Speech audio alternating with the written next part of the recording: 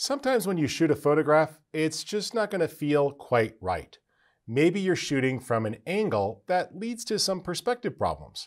Sometimes if we're higher or lower than our subject, it can create a sense of diagonal lines when we need straight lines.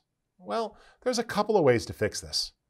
Here I have a photo of Big Ben, the clock in London, and the tower. If we go over to the transform section, you'll see upright. Here you have some simple controls. Let me just zoom out with Command minus so you can see this a little bit better. And what I'm going to do is explore upright. Auto will create a nice balanced view. And you see how it fixed the image here and really straightened those lines.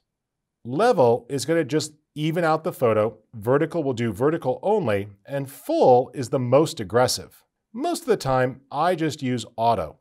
But you see here with full, not only is it compensating for the vertical perspective, but it seems to straighten out the face of the clock there so it's a perfect square. Now, if you're a perfectionist, you can also take advantage of guided. This is going to allow you to set your own lines. Let's zoom in here a little bit so we can see this better. And I'm going to go right off the face of the clock. What I can do now is add my own lines like such. And in doing so, it used that surface to square things up. Now, sometimes guided can be really aggressive. So while I squared up the face of the clock, it did a little too much in the other areas. Let's just go ahead here and click auto for a moment and balance that with full. And I think full is the right case. Now, some of the times you'll need to use that guided adjustment if you have a really tricky photo.